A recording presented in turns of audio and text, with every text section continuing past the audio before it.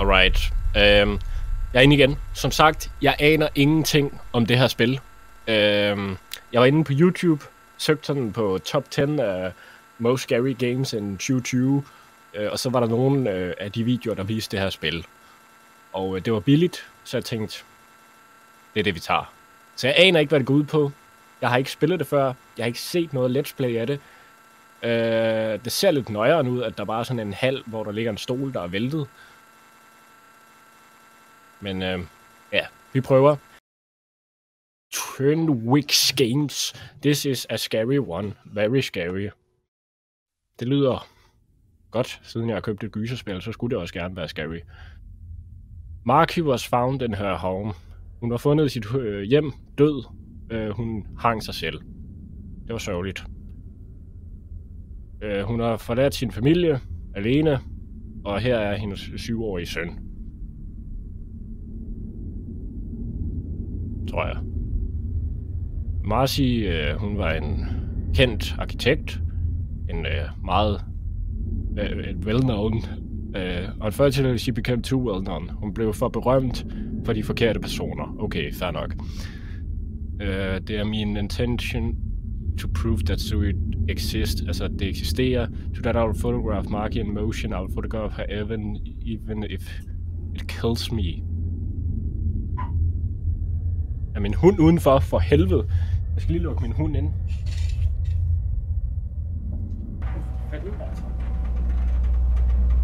Jeg skal lige tage og spille gys. Og vil du nu ud? Okay, ja. To sekunder.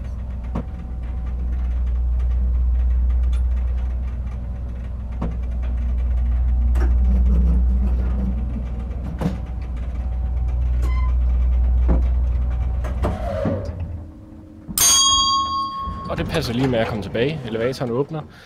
Øhm, der er et meget langt rum. Jeg begynder faktisk allerede at få, få små nøjer på lige nu, kan jeg mærke.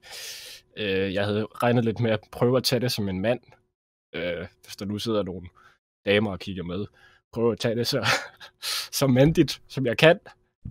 Men øh, ja, vi går i et rum. Der er et flot gulvtæp. Det er... Øh, mener, det hedder... Okay, jeg aner ikke, hvad det hedder faktisk. Jeg prøver bare lige at lyde klog. En lampe. Philips, måske.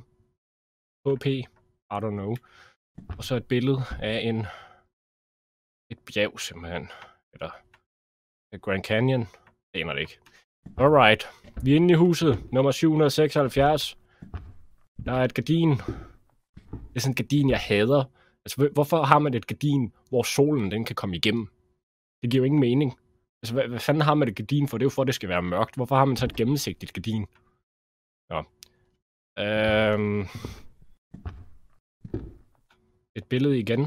Nogle meget mærkelige ansigter. De har fået lavet Botox-læber, kan jeg se. Hvad er det, Fie Laversen, der er afbildet her?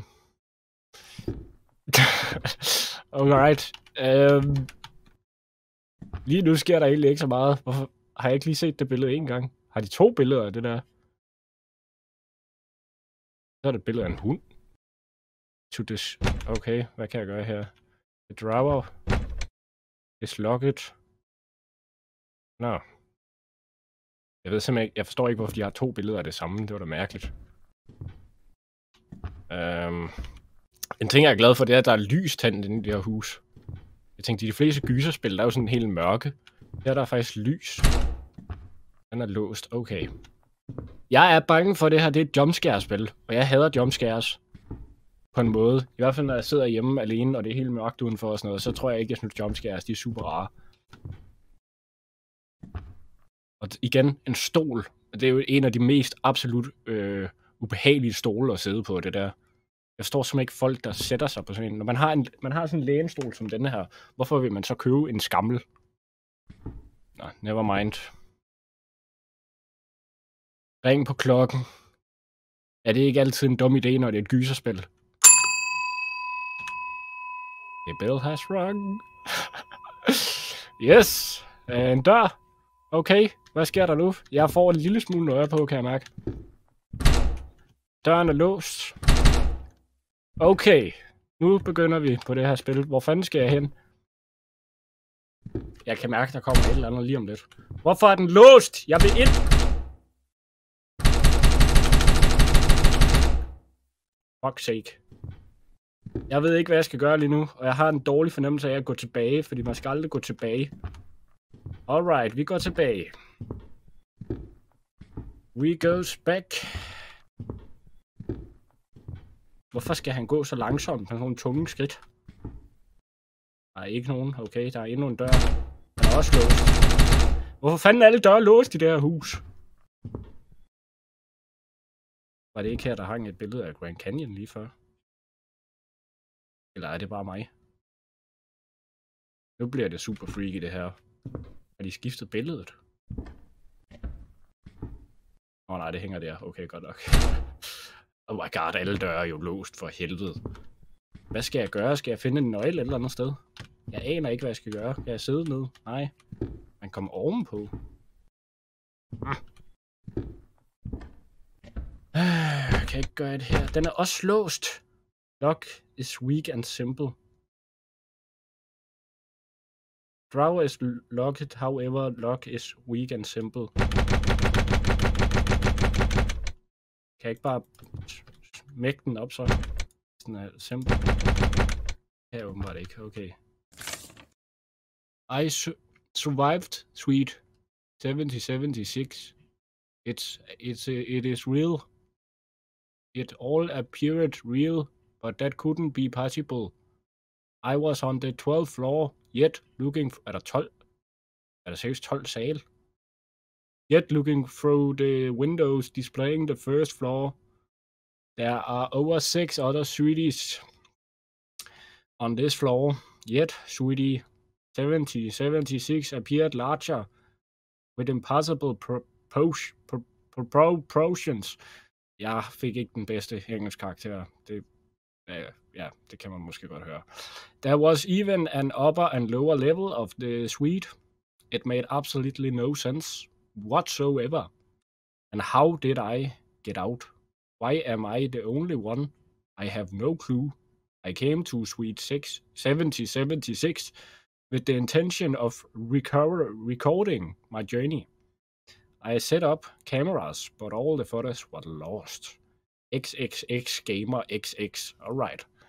Det er en gamer, der har været her simpelthen. Færdig. Åh, oh, nøjeren. Jeg kom bare til at trykke pause. Alright, jeg troede lige, at det, okay, fair nok. Jeg tænkte, jeg kunne få et chok af, at jeg klikkede pause. Jeg ved ikke, hvorfor jeg har nøjer på lige nu, fordi der er jo ikke sket en skid. Udover i Larsen, der skræmmer mig lidt.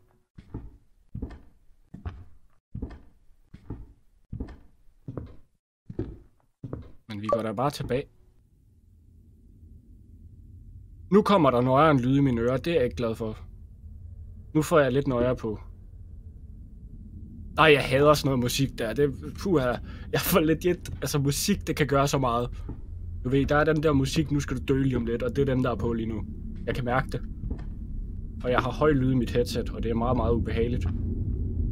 Jeg har meget nøjere på lige nu. Opfør dig mandigt. jeg opfører mig mandigt i gang.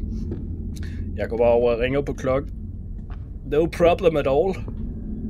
This is gonna be real good. Alright, let's go to the clock. We're just going. Alright, the clock is here. I ring again. Bell has run a second time. Sker der noget? Var det, var det bare det? Var det, var det bare det, jeg fik så nøjere på? Det skete jo ikke en skid. Alright, øh, det var, det var, jeg havde slet ikke nøje på der overhovedet. Ja nok. Du må godt lade være med at sætte den musik der på. Altså, jeg ved simpelthen ikke, hvad jeg skal. Hvor fanden er der en nøgle til de døre henne? Er der noget af det, den kiste her, eller hvad? Jeg prøver at lede efter nogle svar her. En lænestol. En anden dør, der også er låst. En fucking lampe, jeg ikke kan åbne. Og en hund, og det sæd, jeg har læst. Hov, oh, oh shit. Og det giver mig altid nøje på, når jeg kommer til at klikke på det der. Hvordan får jeg den væk? Sådan der. Hvad sker der udenfor? Er der nogen derude? Nej, okay.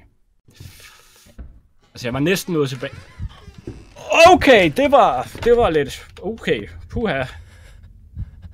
Alright. Uh... Øh, Alright, nu kommer den der musik igen. Det synes jeg er lidt irriterende, det her. Jeg vil lige gå ud og tjekke her? Den er også låst nu. Jeg bliver simpelthen låst inde i den her suite nu. Og hende her, hun begynder at stønne rigtig højt, som om hun er med i en pornofilm. Det går helt galt, det her jo.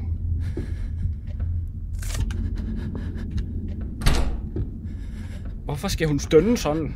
Det er jo ikke hårdt at gå rundt ind i et hus. Jesus Christ.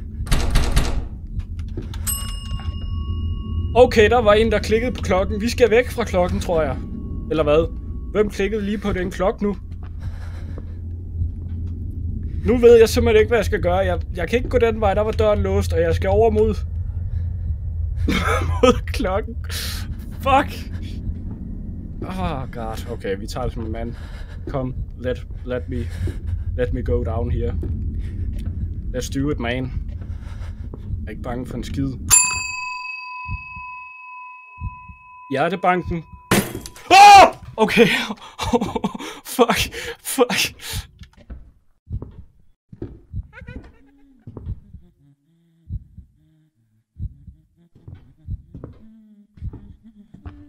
Hvem er det, der siger sådan?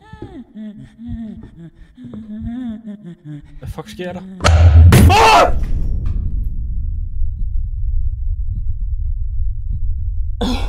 fuck. Fuck. Fuck, jeg smider seriøst.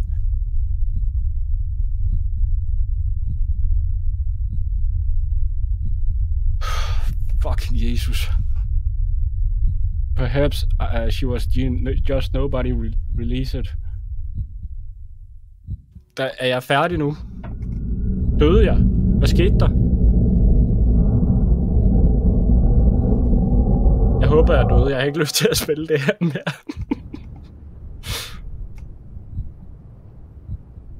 oh god, jeg, jeg fik et seriøst et chok af, at en lampe faldt ned i hovedet på mig. Hvorfor passer det også lige med, at jeg kigger op på den lampe? Og så falder den ned. Nej, jeg gider ikke spille det her mere. Hvor var det en dårlig idé, det her.